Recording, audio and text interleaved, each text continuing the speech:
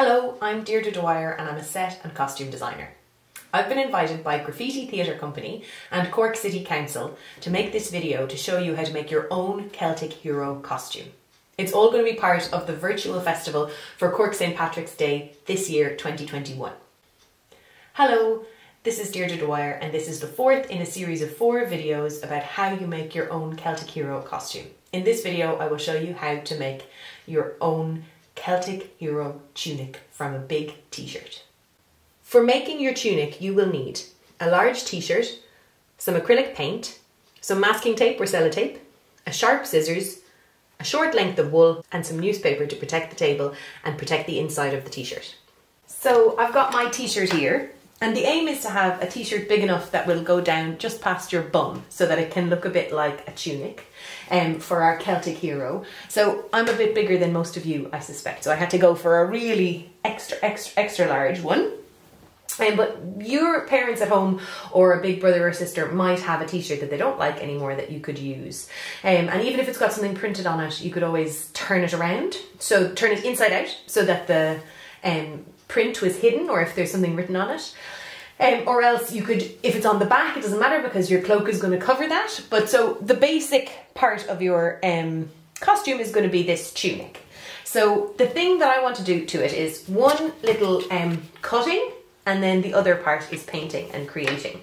Um, so the first bit is to cut down the front so to give you a bit of a slit in your in your t-shirt which we will then thread over with some wool so if you think of, if you try on your t-shirt and see how far it goes down, it's going to be about the length of a finger is going to be what you want to cut down because you don't want it to go down too far. So that's about 10 centimeters or so. Find the middle and then mark it with a pencil. So 10 centimeters there.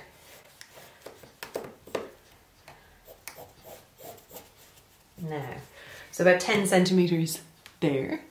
So now I have my mark, I'm going to use scissors, being very careful, turn around my t-shirt so I'm going in the right direction and cut myself.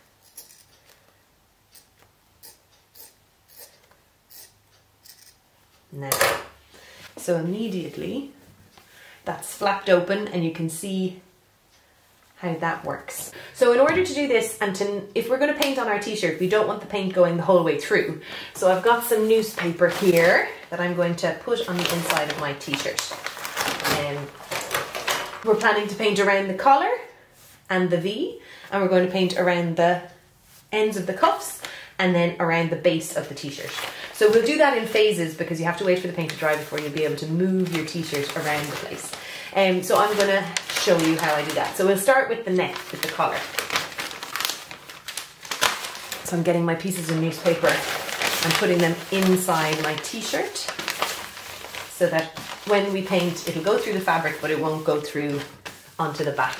And I'm going to use yellow paint, I think, so that's what I've decided. So I've got acrylic paint. So if you use acrylic paint and then iron through a t-shirt afterwards, it's really unlikely to wash out in the wash. I'm just going to blob out my paint onto my plate that's ready and waiting there. To be neat and tidy, I'm going to use some tape. So you can use sellotape or masking tape to mask off about an inch around the edge of your t-shirt.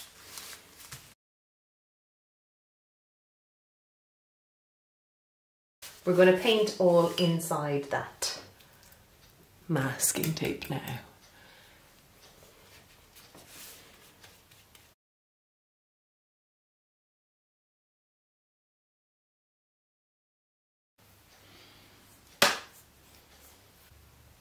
And you want to do the same on the sleeve, so just move that up there. We should be able to do this side of the sleeve as well. So I need another bit of newspaper to go in there.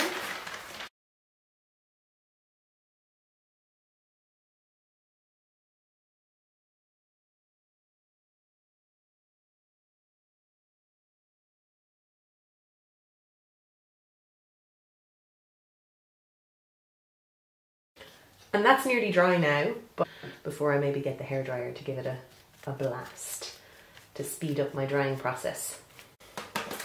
this looks like it's dry now, so I'm just going to unpeel the tape from where it's stuck onto the cardboard, which I just laid down to keep myself neat and tidy.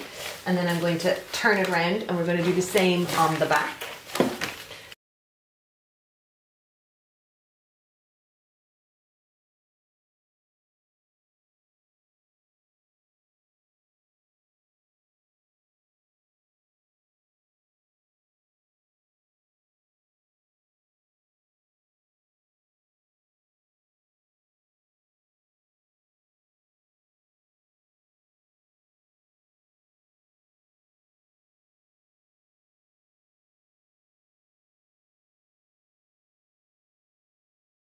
The last bit to do is just the bottom edge of our t-shirt, so I'll quickly do that now.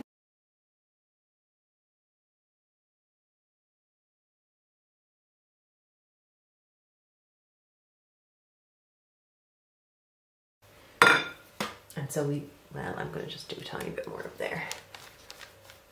And then we wait for that to be done. And then we get to do the fun part, which is peeling off the tape. So now, whoop, I'm just using the bits of um, newspaper out of the sleeves. So see, it does come through a little bit on the inside of your t-shirt, but now I can peel off some of the paper and we can get an impression of what it looks like. So it's a lovely straight line because of your tape.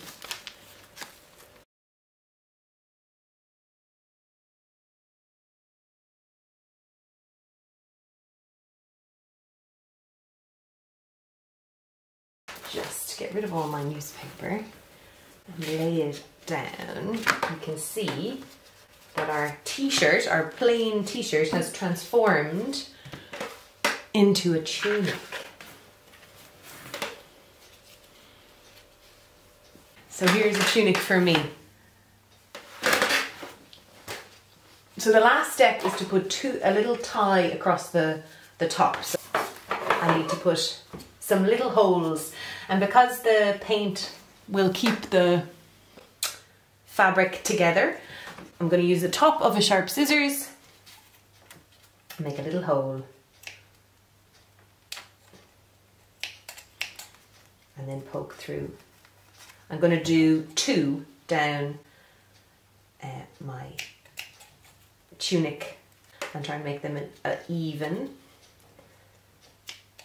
so there's another one and another one.